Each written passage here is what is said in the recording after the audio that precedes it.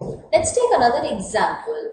Uh, alpha, beta, gamma, this time are roots of a cubic equation given to you as x cubed plus qx plus r equals to 0. It's a more simplified form of our cubic equation because the coefficient with x square is 0. Now we need to find out, we need to find out the expression which looks like summation b beta square plus gamma square upon beta plus gamma. Okay, so we need to figure out this solution. Uh, we need to figure out the value of this expression. Now the equation is such that the coefficient of x square is 0. So that means in general form, okay, b equals to 0. Now b equals to 0 would, act, would, would actually give me that the sum of the roots, when you look into the relationship between the roots and and uh, the equation then alpha plus beta plus gamma equals to 0. So that gives me that I can write beta plus gamma as minus alpha. I can express any two roots in terms of one root. Okay. Now next what we of course have is that the summation alpha beta would equal to q and the product of the roots will equal to minus r. Okay. Minus d by a.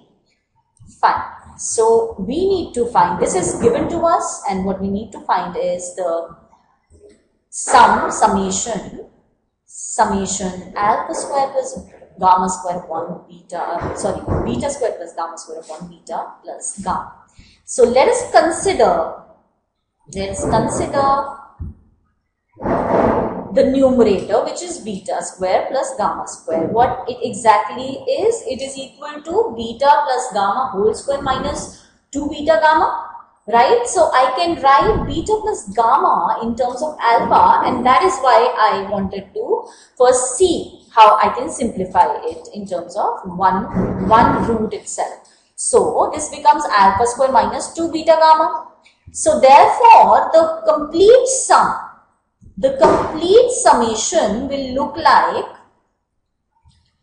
the complete summation will look like this I can just write alpha square minus 2 beta y in the numerator and beta plus gamma is in the uh, uh, denominator which I can write as minus alpha.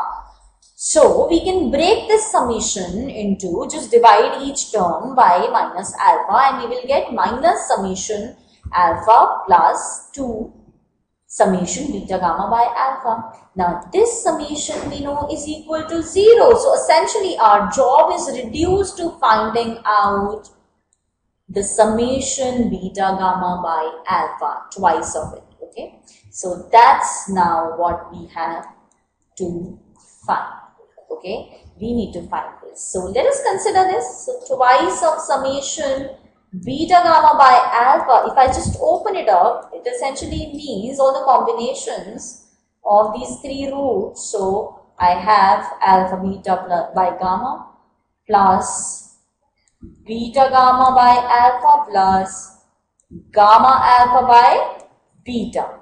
So which means I can just take the LCM and what will I get? I will get alpha beta gamma in the denominator and I will get twice of twice of alpha square beta square plus beta square gamma square plus gamma square alpha square in the numerator which essentially is my summation alpha square beta square by alpha beta gamma. Now alpha beta gamma is something that we know. The value of alpha beta gamma is something that we know and what we need to figure out is the value of alpha square beta square which essentially can come from which essentially can come from say alpha beta whole square.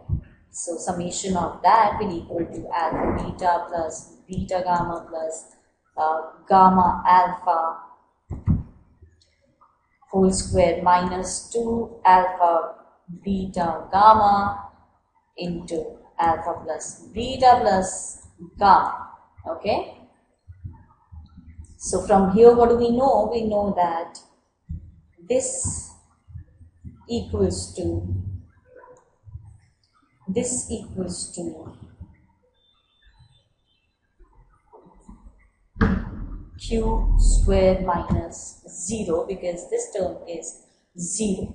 This is essentially I can write it as the square and from here I get the value because this is equal to q, q square minus 0. So this is basically q square and hence the value that we had to figure out the value was summation alpha beta whole square upon alpha beta gamma equals to twice of q square upon minus r.